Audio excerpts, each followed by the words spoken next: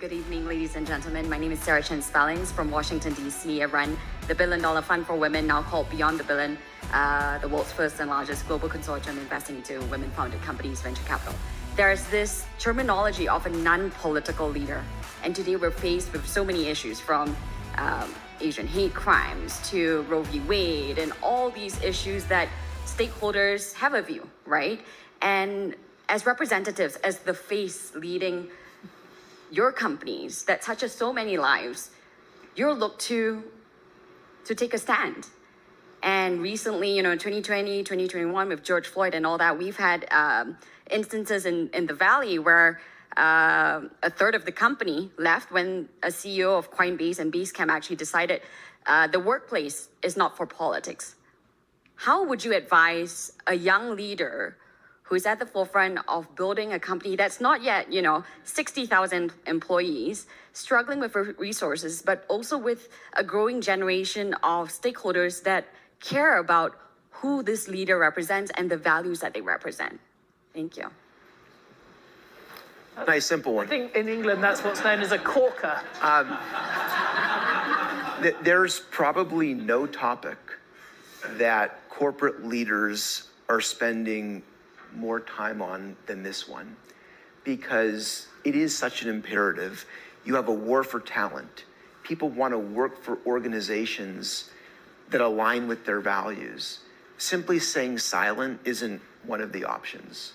And you've seen large cross sections of the corporate world speak out on big issues, make statements about the values of what the company stands for now you're seeing some backlash of companies gone too far.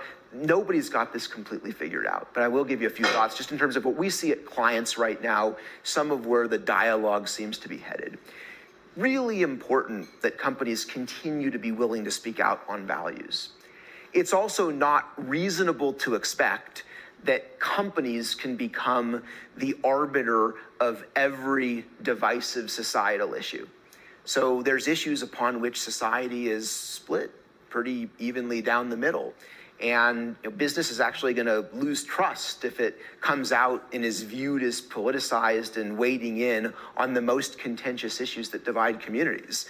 Now, fortunately, there are big cross sections of these issues that should be pretty inclusive, that should draw people in from across the political spectrum, that are grounded in values. If you tune into, you know, various forms of you know, cable news and social media, much of the conversation is grounded in the 5% that's highly divisive. That takes up most of the oxygen, but that leaves the 90 to 95% where you ought to be able to have statements that are unifying, statements that bring people together across different political beliefs that demonstrate to employees. I think businesses need to weigh in, but it, it would also be important in my mind that businesses or leaders weigh in where where they actually have a credible stand based on the business they have. So you, you don't want to have CEOs that have an opinion about everything. Uh, uh, and, uh, and we have actually, we have what we call a brand board. We actually sit there and we have made specific decisions on what are topics where we believe we would be a good spokesperson for business or where wherever we stand, I mean, taking children's perspective, where would be it be important that we have a position?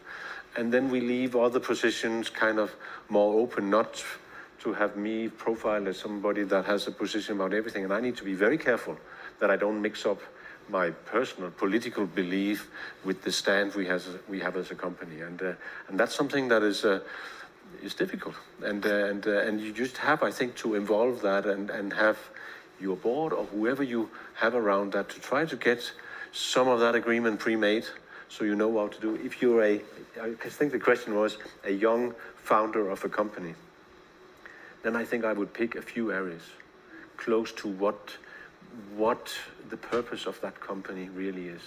And I would focus in on that because you don't want to be starting a company and, and then fiddling around and having opinion about all, all things in society. Then I'm then you may not be successful with your company. agree with you. yes, Henry Schein should have an opinion on healthcare. Yeah.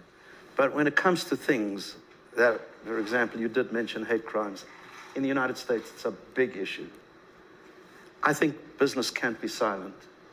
And there are other examples. I don't want to get into too much detail.